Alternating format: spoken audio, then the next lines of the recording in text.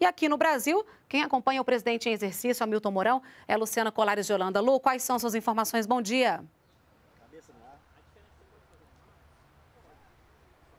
Olá, Renata. Bom dia para você. Bom dia para você que acompanha a TV Brasil. O vice-presidente Hamilton Mourão fica como presidente em exercício até esta terça-feira, quando o presidente Jair Bolsonaro retorna dos Estados Unidos. Ele tem conciliado as funções presidenciais temporárias, provisórias, com o trabalho que vem desenvolvendo à frente do Conselho da Amazônia. Os esforços agora são para consolidar o documento final do Conselho. E é este documento que vai definir o caminho a ser seguido pelo novo órgão que vai ser seguido pelo novo órgão que vai integrar as políticas de governo ligadas à Amazônia Legal. O general Mourão vem visitando os governadores dos nove estados que compõem a Amazônia Legal. O giro começou pelo Pará, Amapá e pelo Maranhão.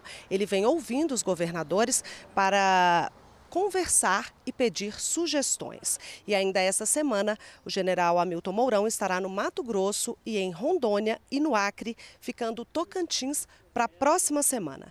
Durante as viagens, Mourão disse que pretende criar um banco, um banco de dados único para facilitar as decisões ligadas à Amazônia. Ele também anuncia que a primeira reunião do Conselho vai acontecer dia 25 de março aqui em Brasília. Renata. Obrigada, Luciana, pelas suas informações.